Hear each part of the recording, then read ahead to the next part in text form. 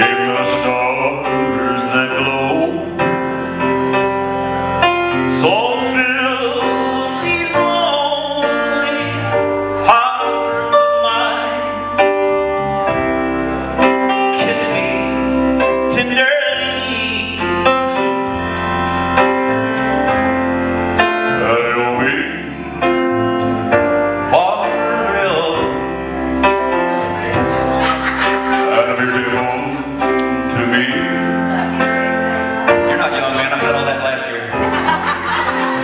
so young and beautiful.